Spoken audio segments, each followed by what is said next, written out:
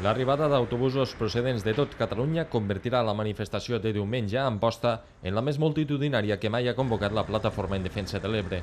Els preparatius per al 7F continuen a tot ritme i l'entitat social no para de rebre adhesions d'associacions, entitats i ens locals a la marxa contra el Pla de Conca tantes que preveuen un èxit sense precedents. A hores d'ara és difícil dir la gent que pot vindre, però el que sí està clar és que serà la manifestació més gran i en la que comptarem amb més participació de gent, no només de les Terres de l'Ebre, que serà eh, impressionant com han sigut les que hem fet, sinó sobretot en la participació que vindrà de fora i això és una cosa a agrair. La manifestació arrencarà a les 12 del migdia des de la porta del Parc dels Xiribecs.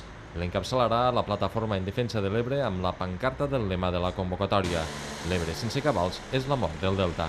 En una segona línia està prevista una representació de les principals institucions del país representades per la presidenta del Parlament, Carme Forcadell, consellers de la Generalitat com Oriol Junqueras o Josep Rull, així com altres diputats, senadors o europarlamentaris. La marxa enfilarà cap a l'Avinguda de la Ràpita, per on es dirigirà cap al pont penjant. Allà s'hi faran els parlaments i algunes actuacions musicals. Per facilitar l'accés de la gent amb vehicles propis, la policia local i els Mossos d'Esquadra dirigiran el trànsit a les entrades de la població i els adreçaran cap a algun dels nou aparcaments habilitats. La caravana principal d'autobusos tindrà com a referència l'esplanada del pavelló Firal, molt a prop del punt d'inici.